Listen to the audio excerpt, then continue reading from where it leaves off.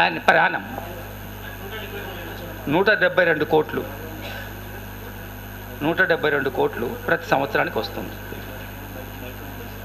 So ఇట్లాంటివన్నీ మనము officers committee చూసుకొని నిర్ణయం చేసుకోవచ్చు. సపరేట్ అయిన తర్వాత ఎక్కడైనా డిస్ప్యూట్ ఉంటాయి. ప్రతి స్టేట్లో డిస్ప్యూట్స్ ఉంటాయి.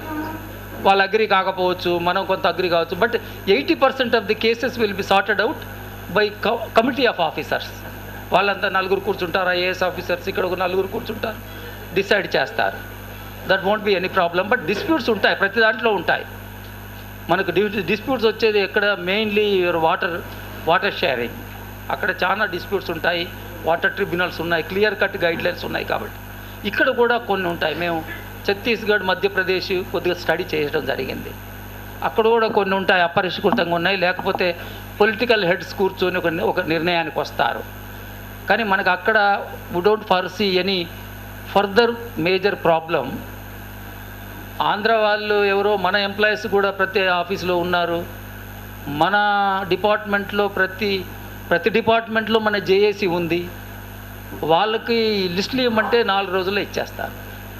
మన ఎంప్లాయీస్ ఎవరో. తర్వాత పెన్షనర్స్ మనం లిస్ట్ తీసుకొని వాళ్ళ ఎస్ఆర్సి సర్వీస్ రికార్డ్ చూస్తే మనకి ఇబ్బంది ఉండదు. So there clear cut problem లేకుండా ఉంటుంది. ఎక్కడన్నా ఒక ట్వంటీ పర్సెంట్ ఫిఫ్టీన్ పర్సెంట్ ఉంటే some commission will decide that and matter will be sorted out I mean this is with regard to your financial then administrative implications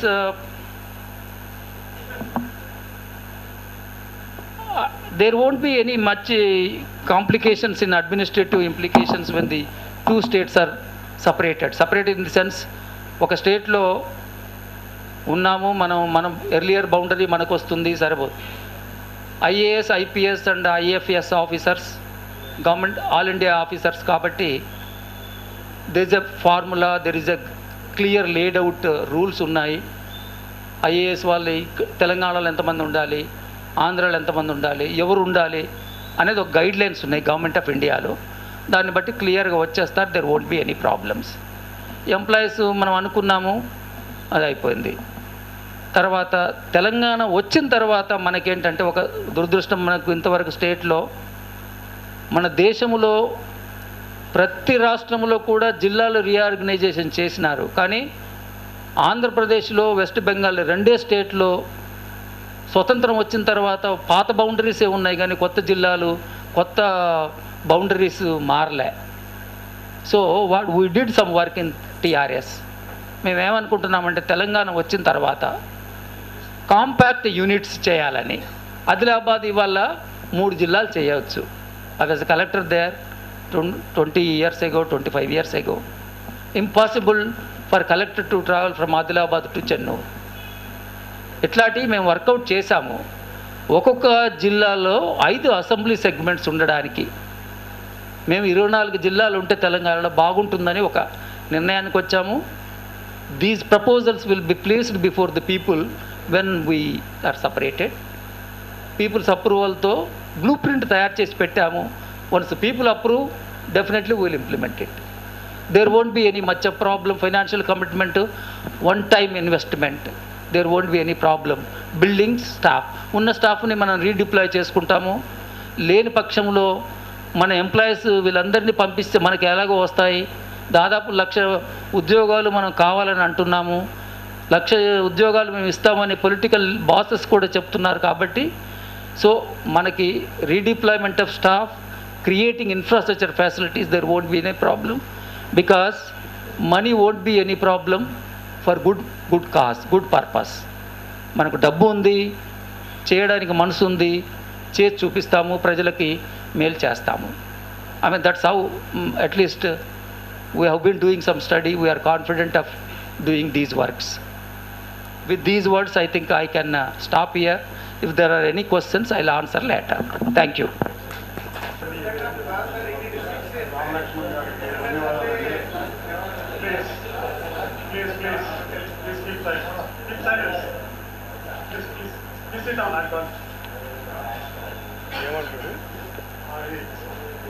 ఇది answer చేస్తానండి. Just wait for some time వారు చెప్పిన దానిపై ఏంటంటే తెలంగాణ రాష్ట్రం ఏర్పడిన తర్వాత సమస్యలు తక్కువగా ఉంటాయి.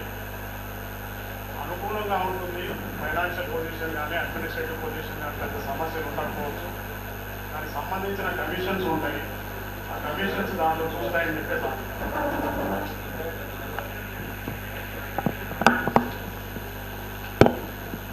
ఇట్లాంటి సమస్య తెలంగాణలో ఉండొద్దని కోరుకుంటున్నాం అది. అది కరెక్టే. అయితే వారు చెప్పిన దాంట్లో ఏందనంటే తెలంగాణ స్టేట్ వస్తే అంటే తెలంగాణ స్టేట్ రూపం గురించి మనం చెప్పలేదు. ఒకటి ఏందనంటే ఒక hello please please no slogans. Discussion జరుగుతున్నప్పుడు జై తెలంగాణ అట్లాంటి మాట్లాడకూడదు ప్లీజ్. తెలంగాణ జై తెలంగాణ అంటున్నాం కాబట్టి తెలంగాణ వచ్చే పరిస్థితుల్లో మనం డివిజన్ గురించి మాట్లాడుతున్నాం. ఎట్లాంటి డివిజన్ ఉంటుందని చెప్పేసి. అయితే ఇప్పుడు మనకు వస్తున్న సమాచారాన్ని బట్టి ఏంటంటే మనకేం తెలియకపోయినప్పటికీ వారు మాట్లాడిన దాంట్లో ఏంటంటే హైదరాబాద్తో కూడిన తెలంగాణ దాంట్లో రెవెన్యూ ఎట్లా ఉంటుంది? హైదరాబాదు లేకుండా వచ్చే రెవెన్యూ మనం దాన్ని ఏ రకంగా మనం అంచనా వేసుకోవాలి? అనే విషయాన్ని వాళ్ళు చెప్పగలిగితే చెప్పాలి లేకపోతే ఏంటంటే మేము అక్కడికే వదిలేస్తాం. మీరు మీరు.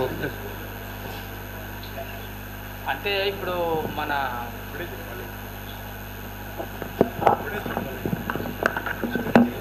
హైదరాబాద్ లేని తెలంగాణలో let us not think about it ఆ మనసే అలాంటి ఆలోచన మన మనసులో రాకూడదు. and if at all anybody indicates that uh, Telangana people are not going to accept it. That is quite certain. We have got some latest indications, but anyway, tomorrow, day after tomorrow, you will see in the newspaper. I don't want to tell, but uh, Hyderabad will remain as a part of Telangana, and uh, nobody can touch the resources of Hyderabad and Hyderabad as such because it has got four, 450 years of history part and parcel of Telangana is a Telangana culture is imbibed in Hyderabad and we are part of Telangana and nobody can say anything against Hyderabad can separate Hyderabad from us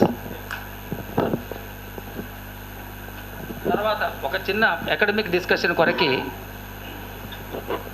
మనకు కొన్ని studies ఉన్నాయి. ఇదివరకు చేసిన financial experts పాతకాలం నుంచి చేసిన experts ఉన్నాయి. Even if you exclude for academic purpose హైదరాబాద్ను తీసేసినా కూడా తొమ్మిది జిల్లాలు కలిపితే మిగతా కోస్టల్ ఆంధ్రాల కంటే మన ఇన్కమ్ ఎక్కువ ఉంది అని నిర్ధారణ చేసిన స్టడీస్ ఉన్నాయి మన ఫైండింగ్స్ ఉన్నాయి మన దగ్గర ఉంది రిపోర్ట్స్ అవన్నీ.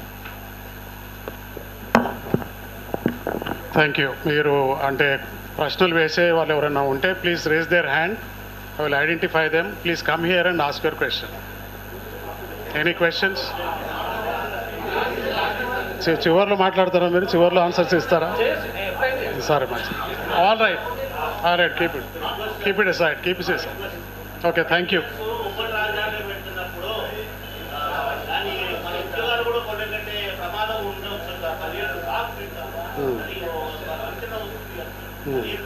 అదే నేను సూచనల గురించే మాట్లాడినాను. If and when it comes అనేది. అట్లా ఉంటే అట్లా ఉంటే ఏం జరుగుతుందనే మాట్లాడినాము. మన డివిజన్ గురించే మాట్లాడుతున్నాం. అంతేగాని మన మనకున్న అనుమానాల గురించి కాదు. ఒకవేళ డివిజన్ వస్తే ఏ రకమైన డివిజన్లో ఎట్లాంటి పరిస్థితి ఉంటుందని చెప్పేసి. Please come please come please come మీరు మీరు అడిగే ప్రశ్న కూడా అందరికి వినపడాలి. One minute one minute one minute one minute let him answer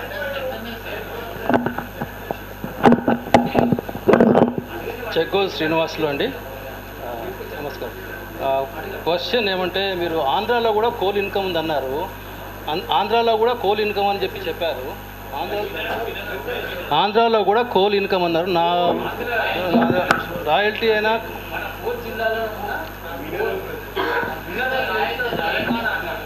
ఇప్పుడు సార్ రెండో question okay okay sir okay sir okay okay okay sir agreed sir రెండోది మన ఇప్పుడు మన ప్రాంతంలో విపరీతమైనటువంటి పోలీస్ ఫోర్స్ను తర్వాత ఎంతోమందిని రిక్రూట్ చేస్తున్నారు.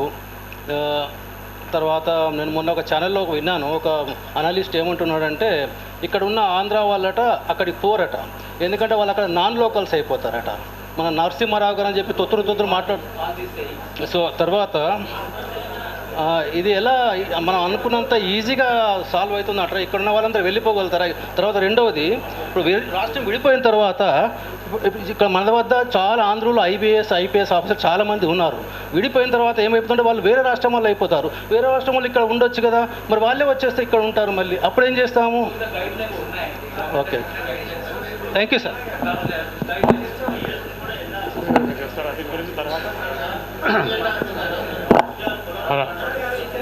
దీని will stop it here if there are any further questions will will take them up later వారు అడిగిన ప్రశ్నకి సమాధానం వేరే వక్తలు మాట్లాడుతున్నప్పుడు వస్తుంది.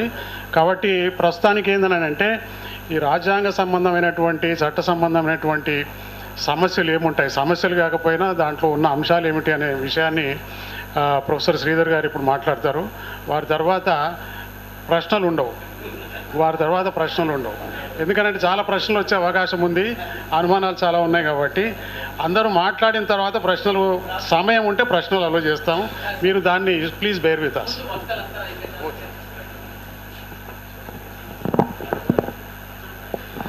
సభాధ్యక్షులు ప్రొఫెసర్ హరినాథ్ గారు న్యాయమూర్తులు సుదర్శన్ రెడ్డి గారు ఐఏఎస్ అధికారి రామలక్ష్మణ్ గారు వేదిక ముందున్న పెద్దలు. ఇప్పుడు మీరు అడిగే ప్ర- అడిగిన ప్రశ్నలు అడగబోయే ప్రశ్నలు సమాధానం చెప్పగలవారు ఒక్కరే ఒక్కరు ఉన్నారు ఈ మొత్తం దేశంలో. ఆమె సోనియా గాంధీ. మీరు ఆ ప్రశ్నలు మమ్మల్ని అడిగితే మేమేం జవాబు చెప్పాలో మరి నాకు తెలియట్లే. తర్వాత ఇంకొక ప్రధానమైన అంశం నాకు కనపడుతున్న అంశం ఏమిటంటే మొదట నిర్ణయాలు తీసుకోరు. తీసుకున్న నిర్ణయాలు పత్రికా విలేకరుల సమావేశంలో చెప్పరు. లీక్స్ ద్వారా ఇన్ఫర్మేషన్ బయటకు వస్తూ ఉంటుంది. లీక్స్ అదొక కొత్త విధానం. కమ్యూనికేషన్స్లో కొత్త విధానాన్ని కనిపెట్టి పరిపాలన సాగిస్తున్నారు. కాబట్టి ఇప్పుడు కూడా మన పెద్దలు కూడా కొన్ని సూచనలు వస్తున్నాయి. కొన్ని వెనుకిడి ఉంది. కొన్ని పుకార్లు ఇవే మనం వింటున్నది. అదే కదా. కనుక ఈ వస్తున్న ఆ లీక్ అవుతున్న కమ్యూనికేషన్ నిజమని మనం దాని మీద మన కమ్యూనికేషన్ మనం ఏ విధంగా మాట్లాడుకోవాలి అనేది మనం ఆలోచించుకోవాలి. నేను మాట్లాడుకోవద్దని అనడం లేదు. ఖచ్చితంగా ఇవాళ పొద్దున మా నల్సార్ యూనివర్సిటీలో కాన్వకేషన్ జరుగుతున్నప్పుడు కిరణ్ కుమార్ రెడ్డి గారు అక్కడికి వచ్చినారు. అంతకుముందు chief justice of India chief justice of Andhra Pradesh అంతా మాట్లాడుకుంటున్నారు అక్కడ. మాట్లాడుకుంటూ ఉంటే తెలంగాణ ఇవ్వడం ఖాయమైపోయింది కదా కానీ తెలంగాణలో జుబిలియేషన్ ఎందుకు లేదు అని అడుగుతున్నారు. అంటే జనం ఇంకా ఎవరు నమ్మట్లేదండి ఇస్తున్నారని అని చెప్పుకోవాల్సి వచ్చింది. అంటే మీరు రాజ్యాంగ న్యాయపరమైన అంశాలు తెలంగాణ గురించి అంటున్నారు కనుక రాజ్యాంగ న్యాయపరమైన విషయాలు చర్చించే వాళ్ళు ఏమనుకుంటున్నారో ఒక హింట్ మీకు ఇద్దామని ఒక చిన్న ఇన్ఫర్మేషన్ నేను కూడా లీక్ చేసిన. సరే ఇక రాజ్యాంగపరమైన ఏమిటి చేయాలి అంటే ఇది బేసిక్గా ఒక పొలిటికల్ డెసిషన్ అని నేను మీకు పెద్దలకి నేను చెప్పాల్సిన అవసరం లేదు. రాజకీయంగా కేంద్ర ప్రభుత్వము నిర్ణయించాల్సిన విషయం.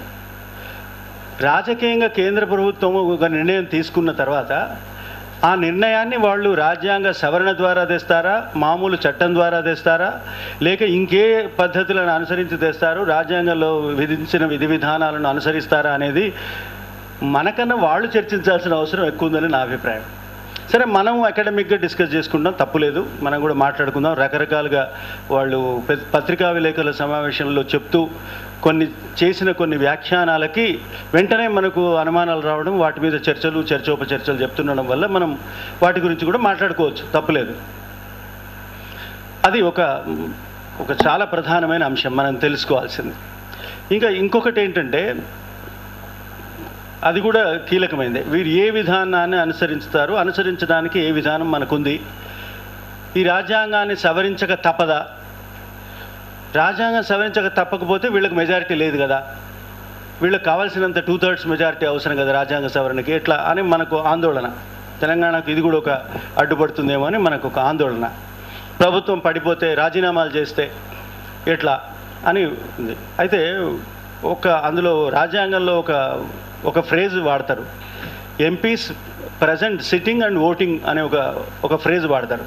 అంటే అందులో ఉండి ఓటు చేసే వాళ్ళలో కావలసినంత మెజారిటీ ఉంటే ఆ రాజ్యాంగ సవరణ కానీ చట్టం కానీ absolute majority and absolute majority అంటే ఏమిటి? సగం కన్నా ఒకటి ఎక్కువ. అది విచిత్రమైన మెజారిటీ మనం. అన్ని బిల్లులు అవన్నీ బడ్జెట్ పాస్ కావడానికైనా సగం కన్నా ఒకటి ఎక్కువ కావాలి. తెలంగాణ ఏర్పాటుకు మాత్రం అందరూ ఒప్పుకోవాలి. మొత్తం హండ్రెడ్ పర్సెంట్ ఏకాభిప్రాయం ఉండాలని అంటూ ఉంటారు. అయితే రాజ్యాంగ సవరణ అయినా మూడింట రెండు వంతులు అవసరమని మనం అనుకున్నా దానికి ప్రజెంట్ సిట్టింగ్ అండ్ ఓటింగ్ అనే ఒక ఫ్రేజ్ ఉంటుంది కాబట్టి ఎంతమంది రాజీనామా చేసినా మిగిలిన వాళ్ళలో మూడింట రెండు వంతుల మంది చేస్తే రాజ్యాంగ సవరణ కూడా సాధ్యమే. అంటే మన భయాందోళనలు పక్కన పెట్టడానికి నేను చెప్తున్నా. ఇక ఇంకొకటి ఏమిటి? రాష్ట్ర ప్రభుత్వాన్ని సంప్రదించి తీరాలనా? రాష్ట్ర ప్రభుత్వ అభిప్రాయానికి విలువ ఇవ్వాలన్నా ఇవ్వద్దా? రాష్ట్ర శాసనసభ తీర్మానం సానుకూలంగా తీర్మానం చేయాలన్నా చేయొద్దా? అది ఏకాభిప్రాయ ఏకగ్రీవ తీర్మానం కావాలా? లేక మెజారిటీ తీర్మానం కావాలా? ఒకవేళ వాళ్ళు వ్యతిరేకిస్తే తెలంగాణ ఆగిపోతుందా? ఇవి మనకు సామాన్యులకు ఉండే కొన్ని సందేహాలు. వీటి గురించి కొంచెం మాట్లాడుకుందాం. మన మనది ఫెడరల్ రాజ్యాంగం అని అనుకుంటున్నాం కానీ ఇది ఫెడరల్ రాజ్యాంగం కాదు. It is a డిస్ట్ర indestructible union of destructible states అన్నాడు. దీన్ని క్యారెక్టరైజ్ చేయడానికి. భారత రాజ్యాంగాన్ని ఏ విధంగా మనం క్యారెక్టరైజ్ చేయాలి? అంటే అవిభాజ్యమైన కేంద్రం విభాజ్యమైన రాష్ట్రాలు. విభాజ్యమైన రాష్ట్రాలతో కూడిన అవిభాజ్య కేంద్రం మన భారతదేశం. ఇది మనం రాసుకున్న పంతొమ్మిది వందల యాభైలో మనం రాసుకున్న రాజ్యాంగ లక్షణాన్ని మనం వివరిస్తాయి ఇది ఫెడరేషనా యూనిటరీ గవర్నమెంటా అనే చర్చ మనకు ఇప్పుడు కాన్స్టిట్యూషన్ లా క్లాస్లో మేము ఇప్పుడు మేము క్లా పాఠాలు చెప్పుకుంటాం. ఇప్పుడు మీకు అది అవసరం లేదు. కనుక ఆ చర్చలకు పోకుండా మనం అర్థం చేసుకోవాల్సింది ఏమిటంటే రాజ్యాలు విభాజ్యమైన రాజ్యాలు రాష్ట్రాలు విభాజ్యమైన రాష్ట్రాలు. విభజించుకోవచ్చు. ఇందులో ఏం తప్పులేదు నిన్న ఒక టీవీ ఛానల్లో ఒక ఆయన సుబ్రహ్మణ్యం గారట క్యాబినెట్ సెక్రటరీ గారు ఫార్మర్ క్యాబినెట్ సెక్రటరీ. ఆయన అదేమిటి ఇట్లా అయితే ఈ దేశం ఏమైపోతుంది? ముక్కలు ముక్కలు అయిపోతుంది అంటే మరి ఇప్పుడు జిల్లాలు చేస్తే కూడా ముక్కలైపోతుంది. మండలాలు చేస్తే కూడా ముక్కలైపోతుంది. గ్రామాలు చేస్తే కూడా ముక్కలైపోతుందా? అట్లయితే కొన్ని లక్షల ముక్కలు మనం ఒక్కొక్క గ్రామాన్ని లెక్క పెట్టుకుంటే. అయితే విత్ ఇన్ ది కంట్రీ ఈ కంట్రీ సరిహద్దు ఈ దేశ సరిహద్దుల లోపల లోబడి జాతి సరిహద్దులకు లోబడి ఒక రాష్ట్రాన్ని ఈ రెండు మూడు రాష్ట్రాలుగా మార్చుకుంటే లేదా పది రాష్ట్రాలను పదిహేను రకాల రాష్ట్రాలుగా మార్చుకుంటే అది దేశ విభజన అని దాన్ని అనరు. దేశంలో అంతర్గత వర్గీకరణ అంటారు దాన్ని. దాన్ని విభజన అనరు. అయితే విభజన అంటే ఏమిటి? వేర్పాటు అంటే ఏమిటి? దేశం నుంచి వేరు కావడం ఏమిటి? దేశ సమైక్యత విచ్ఛిన్నం ఏమిటి? ఏమిటి అనే తేడా లేకుండా అన్నీ ఒకటే అన్నట్టు మాట్లాడడం. తెలంగాణను పూర్తిగా వంద శాతం వ్యతిరేకించే వాళ్ళు సమైక్యవాదులుగా పేరుగాంచడం మనం ఇక్కడ ఈ ఆంధ్రాతో కలవక ముందున్న మిగిలిన హైదరాబాద్ రాష్ట్రంలో మిగిలిన ప్రాంతాన్ని రాష్ట్రంగా ఇవ్వడం అంటే మనం వేర్పాటు వేదిలోనే మనం నింద మనం పొందడం అనేది ఆ పదాలను వాడకాన్ని బట్టి ఆ పదాలకున్న సామాన్యమైన అర్థాన్ని మనం గమనించడాన్ని బట్టి ఉంటుందే తప్ప నిజానికి ఇది వేర్పాటువాదం కాదు అది సమైక్యవాదం కాదు. మనం వేర్పడడం లేదు. వాళ్ళు ఇది సమైక్యం అని అంటుంటే అసలు రాష్ట్ర సమైక్యవాదం అనే మన అనే ఈ ప్రతి సమైక్య సభలో ఒక్క తెలంగాణ గొంతు కూడా లేకపోతే అది సమైక్యవాదం ఎట్లవుతుంది అనేది మనం ఆలోచించుకోవాల్సిన విషయం. కనుక ఇది సామాజిక రాజకీయ అంశాలు రాజ్యాంగ న్యాయపరమైన అంశాలు కలగలిపి ఉన్న అంశం కనుక ఇది అది మాట్లాడక తప్పదు. అయితే డిస్ట్రక్టిబుల్ స్టేట్స్ అనే అనే మాట నిజం చేయడం కోసం ఆర్టికల్ త్రీ ఆర్టికల్ ఫోర్ అనేది మనం రాసుకున్నాం రాజ్యాంగంలో. ఇందులో ఏముంటుందంటే కేంద్ర ప్రభుత్వం కనుక ఒక మైనారిటీ అని అనుకుంటున్న ఒక ప్రాంతపు ప్రయోజనాలను రక్షించడానికి ఒక రాష్ట్రాన్ని వారి కోసం ప్రత్యేకించి చేయాలని అనుకుంటే దాని సైజుతో నిమిత్తం లేకుండా వైశాల్యంతో నిమిత్తం లేకుండా అక్కడున్న ఇంకా ఇతరమైన సమస్యలతో నిమిత్తం లేకుండా ఒక రాష్ట్రాన్ని సృష్టించే సంపూర్ణమైన అధికారం అబ్సల్యూట్ పవర్ కేంద్రానికి ఉంది కేంద్ర ప్రభుత్వానికి ఉంది అని చాలా స్పష్టంగా ఆర్టికల్ మూడులో ఉంది. ఇది మనం అర్థం చేసుకోవాలి. ఇప్పుడు మరి ఎందుకు ఇచ్చారు? రాష్ట్రాలు కూడా సమానమైన సార్వభౌమాధికారాన్ని పంచుకుంటుంది మన రాజ్యాంగం ప్రకారం అని అంటున్నప్పుడు ఒక రాజ్ ఒక రాష్ట్రాన్ని విడగొట్టినప్పుడు ఆ రాష్ట్ర సార్వభౌమాధికారం ఎక్కడ పోతుంది? ఇది అన్యాయం కదా? కేంద్రమే మొత్తం సార్వభౌమాధికారాన్ని చెలాయిస్తే రాష్ట్రాలకున్న సార్వభౌమాధికారం ఏమైపోతుంది అని మరొక ప్రశ్న. దాని మీద రాజ్యాంగ వ్యాసాలు రాసేవాళ్ళు నిపుణులు అనుకున్న వాళ్ళు చాలామంది చర్చకు తీసుకొచ్చి దాన్ని దాని మీద వ్యాసాలు కూడా రాసినారు. అయితే అప్పుడు రాజ్యాంగ సభలో దీనిపైన చర్చ జరిగింది. చాలా విపులమైన చర్చ జరిగింది. అంబేద్కర్ ఒక్కొక్క మన సందేహాలు పటాపంచలు అవుతాయని నేను ఈ సభలో చెప్పదలుచుకున్నా. సరే ఇంకొక విచిత్రమైన పరిస్థితి ఏమిటంటే మన దేశంలో మన మనకున్న ఒక విచిత్రమైన పరిస్థితి ఏమిటంటే ఒక మైనారిటీగా ఉన్నవాడు శాశ్వతంగా మైనారిటీగా ఉంటాడు. మెజారిటీ శాశ్వతమైన మెజారిటీ. ఇప్పుడు చూసుకోండి ఇరవై మూడు జిల్లాల ఆంధ్రప్రదేశ్లో. పది జిల్లాల్లో అన్ని గొంతుకలు ఒకటై మీరు తెలంగాణ కావాలని అడిగినా పదమూడు జిల్లాలు వద్దంట వద్దంటాయి. హైదరాబాద్లో ముప్పై లక్షల మంది సెటిలర్లు వద్దంటారు. కనుక మనం శాశ్వత మైనారి మైనారిటీ వారు శాశ్వత మెజారిటీ. ఈ శాశ్వత మైనారిటీ ఎప్పుడు పోటీ పడడానికి వీల్లేని పరిస్థితి ఉంటుంది కనుక ఆర్టికల్ మూడులో కేంద్రానికి విస్తృతమైన అధికారాలు ఇచ్చారు. మిగతా విషయాలు మనం బ్రేక్ తర్వాత మాట్లాడుకుందాం.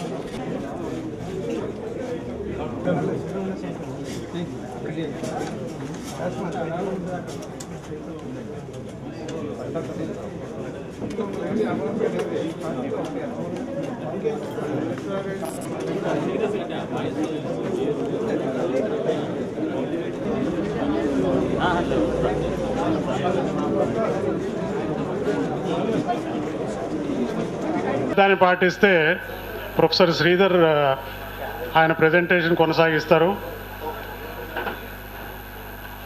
So silence is solicited please